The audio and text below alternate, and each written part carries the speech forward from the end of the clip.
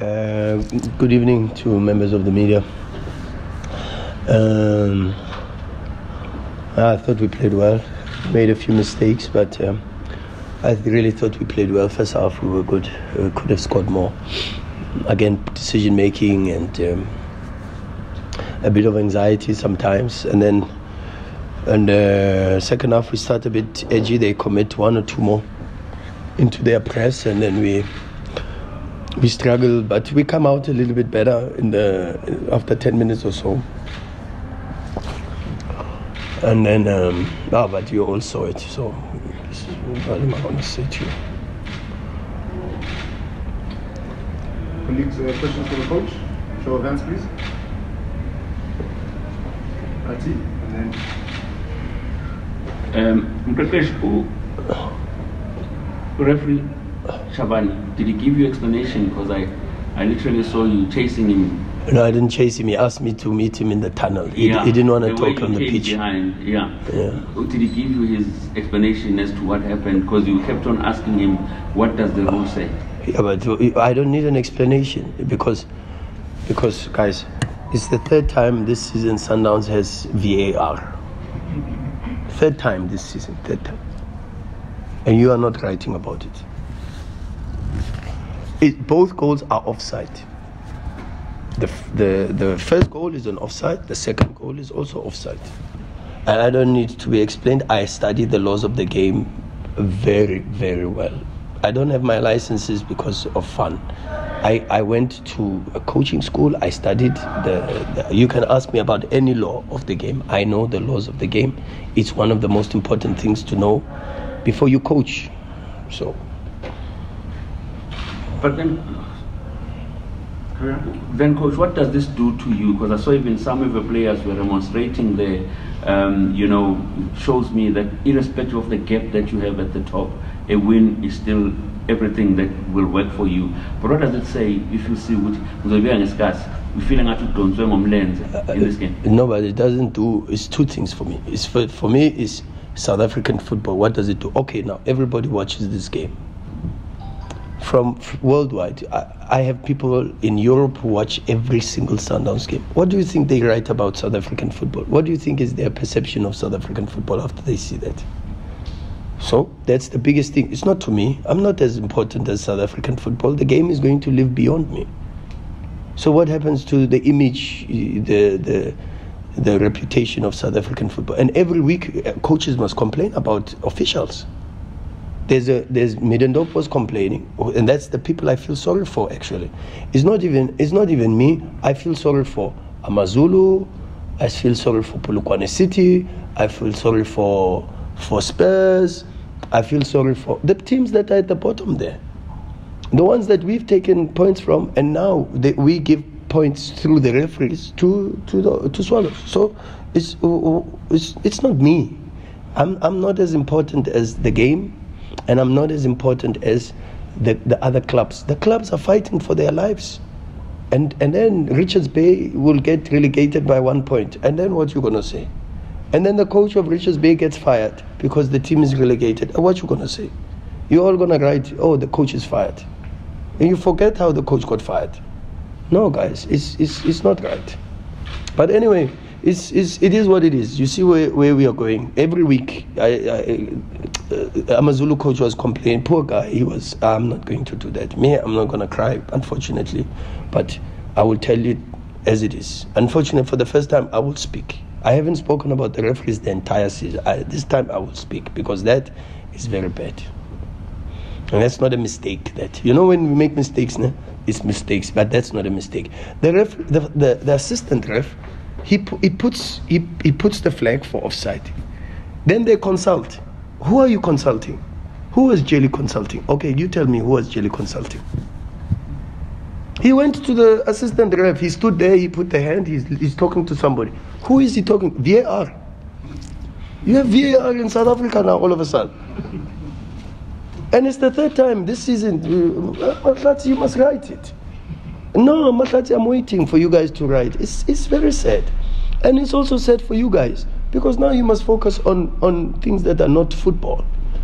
So you're going to ask me questions about things that are not football. Are you are you guys not football journalists? You should be talking to me about tactics. What happened there? What happened there? Yes, of course. And everyone makes mistakes. My team made mistakes. For sure, we make we made mistakes.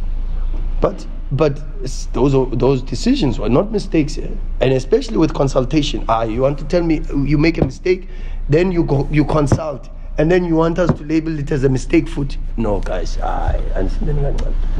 That's why the players also do corrections. That's why I do corrections. If my team makes mistake after mistake after mistake, I must be called to the jury. I must be put to the sword if my team continues to make mistakes. The, the, the, the third team in our league, every single game, is making mistakes. And what are we doing? We keeping quiet, we are seeing this thing, and we are quiet. I'm asking you guys, I'm saying to you guys, you are quiet. And then he's, he laughs. Cedric, the fourth official, he laughs. He's smiling and he laughs and he tells my players from from word go and he tells my players, I have a bad heart, you also have bad hearts. What is that got to do with football? How disrespectful is that? It's, it's wrong, guys. It's wrong, wrong, wrong to the core. And there's no excuse for it. Sorry.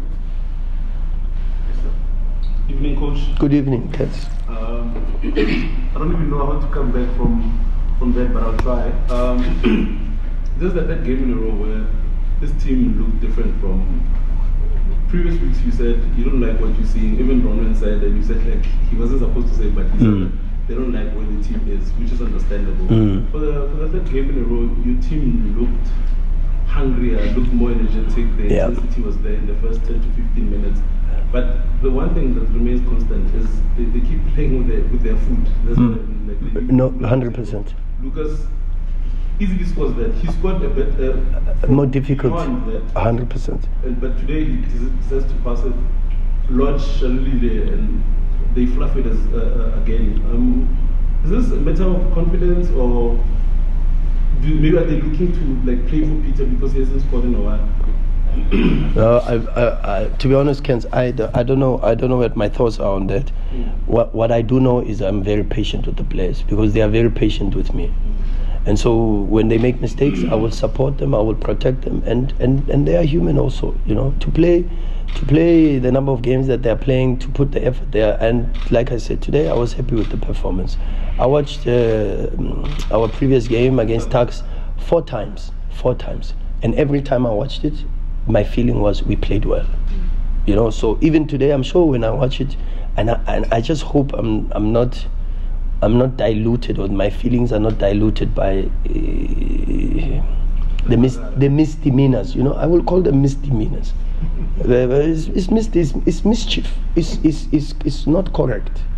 And I hope my feelings are not diluted by that because really, really, really, uh, I did think we played well and we created enough opportunities to score. But maybe we have to learn, you know, and we have to learn the hard way because because as you say, sometimes you have to be a bit more ruthless, and we have to maybe we have to learn when it's painful, you know, and the pain must come through draws like this and uh, points that are dropped like this because 100% I don't believe performance-wise we should have dropped two points today.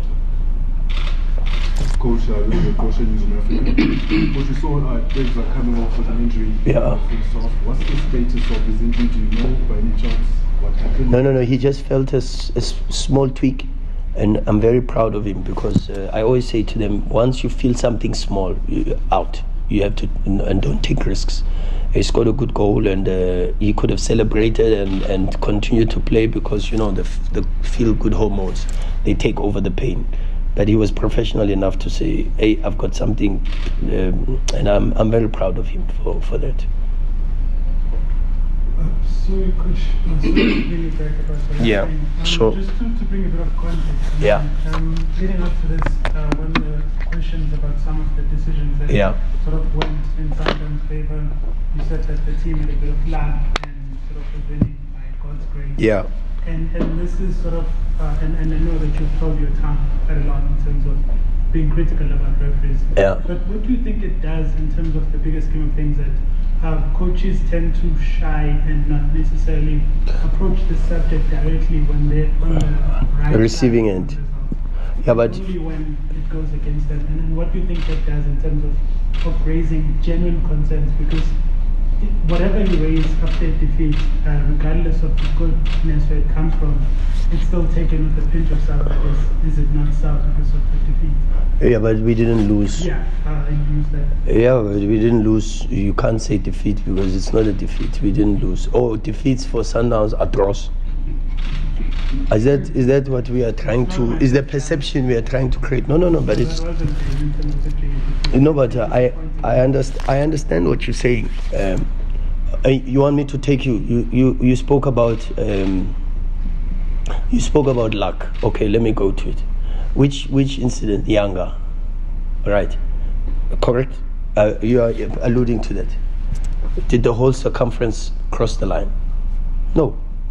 And it is, is an inch, okay? Still, there is uh, the whole circumference did not cross the line. That is not a bad refereeing decision. That is luck.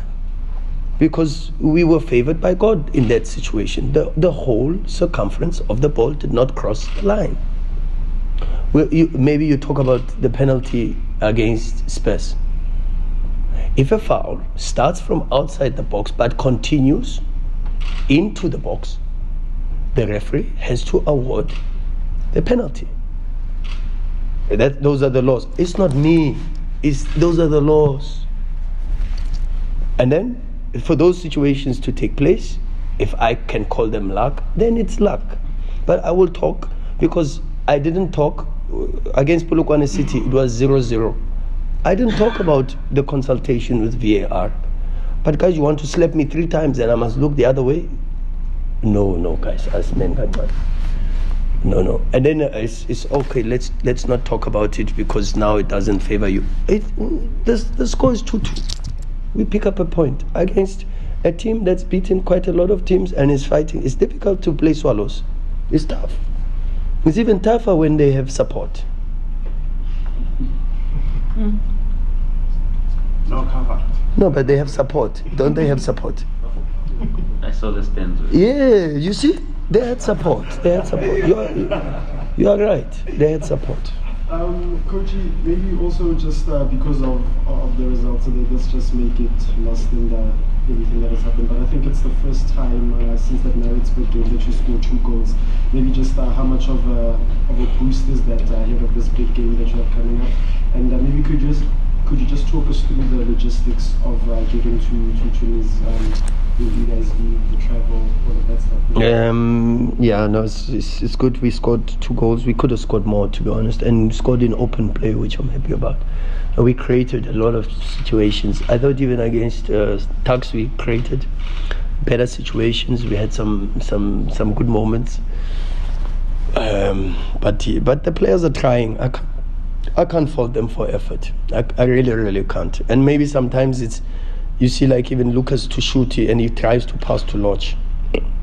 They're trying to be good people because Lucas has been uh, under a bit of pressure with selfishness and being branded as a bit of self. And I can understand because because I'm with him every single day. I see him. I see him at training. I understand what this thing is doing to him.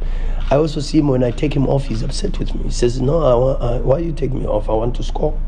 So so I understand. He wants more. He wants to score. He wants to play. But I said to him, we have to think about even more games and, and, and the situation. So, uh, and then the, the the one for Peter, Peter tries to, to, to wait. He says Lorch called for it, okay, then, but he must score. And then Lorch wants to try to pass also and make an extra pass in the box instead of, but he called for it. Oh, that's what Peter's. But okay, guys, um, I'm proud of them for the effort. We could have done better with uh, with some of the situations to score, and we could have done better with some of the situations that we conceded from. 100%, I agree. And um, but uh, of course, I'm going to feel upset about the refereeing decisions. Of course, I am. And we can't keep Mickey Mousing ar- around it as Sundowns because every time something bad happens to Sundowns, we we're the nice guys, you know. We, and then next game, oh, again we get slapped. Oh, again we get slapped. But we work very, very hard. Do you know how, how, how little these players see their families?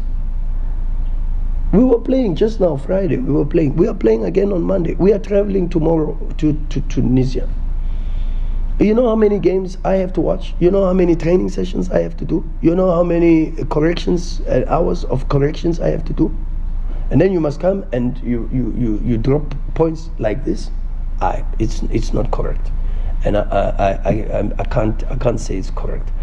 It's, it's a pity. It's a very, it's a, it's, it's very. sad. I feel sorry for them because I went into the change room. I see dejection. I see sad faces. I say, "Ah, I feel so sorry for them because because I think I think they beat a very good opponent today, but we were also beaten by a very good opponent.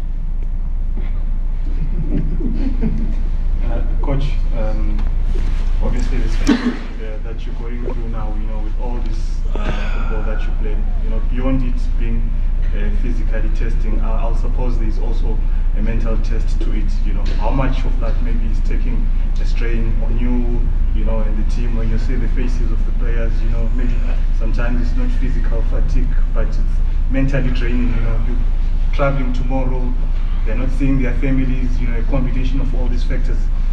Mm, no, it's true, but I, I think they are responding well, and it's the most important thing. Ben, mm, I don't. Uh, no one's gonna feel sorry for us. You know, no one's gonna. We have to continue to to represent this club every single game the best way we can. We have to represent the supporters and try to make them happy as as much as we possibly can. And we do it for the fans. We do it for our supporters. We we we, we sacrifice for them. We we we we go every single day. We we were training yesterday. It's a Sunday. We are playing again today. Is a Monday. We are traveling tomorrow. Uh, 11, 12 hour flight. We we have to play again in Tunisia on Saturday. We have to come back. We have to play again. Sekhukhune. But who's going to feel sorry for us? Nobody's going to feel sorry for us. So we have to man up and. Uh, and, and do the best that we can, and that's and that's unfortunately what what our lives are about. Unfortunately, it's heavy is the head that carries the crown. Coach, I just want to take another bite on the refereeing issue. Obviously, we've been here before, um, and I mean, coming here, I was listening on the radio shows, uh, you know, everywhere, it's uh, referees, referees.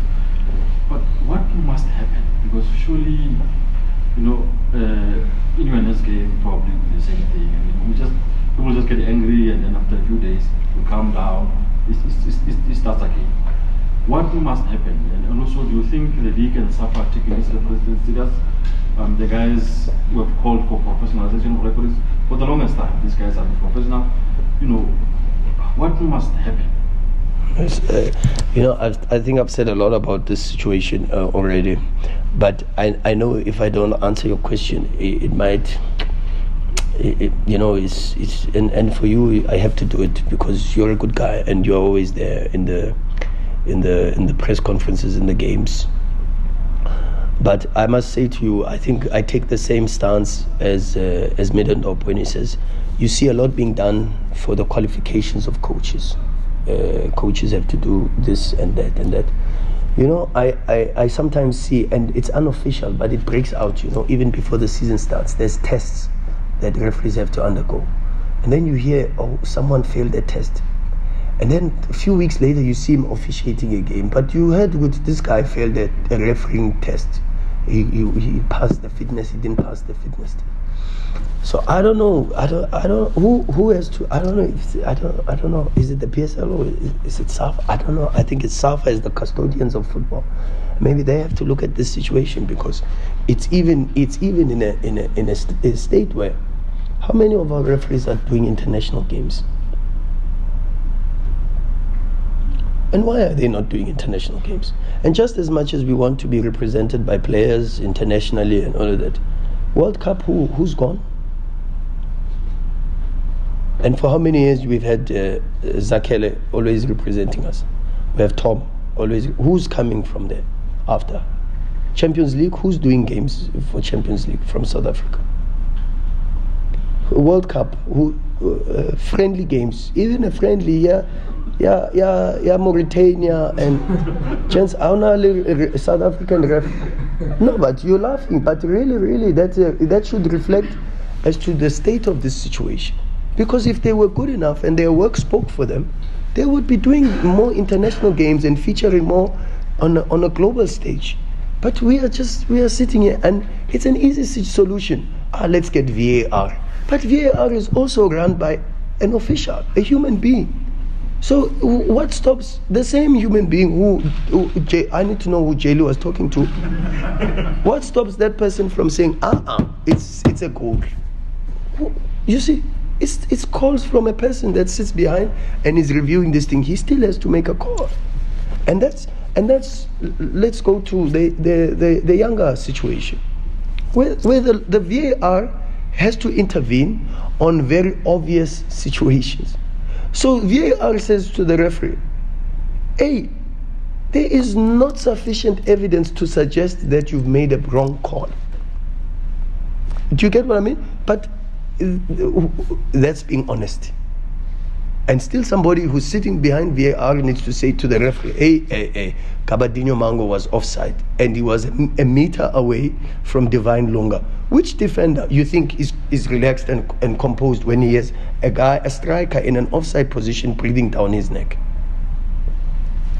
And maybe we don't understand because maybe we didn't play professional football and we don't. Un- that's me. But I'm I'm looking at this situation. I'm saying, if I was in that situation, I would also be unsure what is happening, and I don't see the flag, but I see that this guy is is completely offside, and if I make a mistake, this this thing is a problem.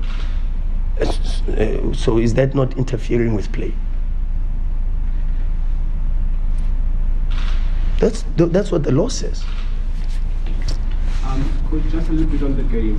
Um, position, you had 78, Swallows 22. You had 6 on target, they had 5. How do you reflect to such stats? Uh, besides clearly, um, you know, stats, your stats, the stats, your stats are, are very difficult. Oof, uh, stats. You know, I, I must tell you, I'm I, I really was. Uh, I'm I'm very fond of of data. Um, but I, I've, I've, I've come to realize, and this was a conversation actually I was having with an analyst from one of the teams uh, a big team, and in fact, he's a he's a recruitment analyst, and he has to use data to try to help the team to recruit. And he said to me, "You, you must understand one thing: in in business, in every space where they use numbers, numbers can always be manipulated to suit a certain narrative or perspective that wants to be created." So uh, you, you that seventy percent ball possession is, you want to say we were dominant? Yeah, you look at it. You want to say we were wasteful? You also look at it. It's true. And then what what what do you talk about? It's, it's what you want to talk about. And the the people who use data is sometimes okay. Let me ask you a, a question, and and this is for all of you. Well, the the game, the game ne, of Brazil Germany. Do you know what was the data for that? For who had the most shots? Was it seven two? Uh, seven nil with the World Cup. What was the score? Seven one. You know who had the most shots? The losing team. You know who had the most possession? the losing team. You know who had the big chances and the highest XG? The losing team. If you don't believe me, go and verify and check. Bel- I, I 100%. I, because I, I, I talk to people who understand this thing. So sometimes it's, it's very difficult to, to analyze a game based on only on data because football is a game that's got so many other things that, that, are, that are involved, so many other things. So that's that. Coach, maybe a bit on what you're expecting in Tunisia uh, before you guys. Hostility, uh, tough conditions, a good team. They they won yesterday. I was I watched a little bit with uh, Dale Solomons and the analysts. Um, um, but yeah, let's let's see first. I, I have to now swallow. Excuse the pun, but I have to now. Nice one. No, no, sorry, I didn't. I really, didn't, I didn't. Yeah, I just I have to now uh, get over the feelings and and um, fortunately the team is swallows, ne? Yeah, swallows. Moroka swallows. Yeah, I love this club anyway, and people know I love this. Uh, and it's and uh, by the way, by the way, swallows are a good team. Uh, I like. I've always told you I watch so many of their games. I like Musa Nyatama, big time. I like the leadership of this club. Uh, I've got big, big respect for the chairman and the hierarchy of the club. Um, I, I, and it's a team from Soweto. So last season, when we dropped points, I said if we can drop points against anybody, I would accept if it's Swallows and Mosanyata, and I got into trouble. Now today you're going to say I'm going at the, it's not a, it has nothing to do with Swallows. Uh, the football club. I am very, very disappointed with uh, the officiating today, and that's and that's fact. Thank you, colleagues. Thank you.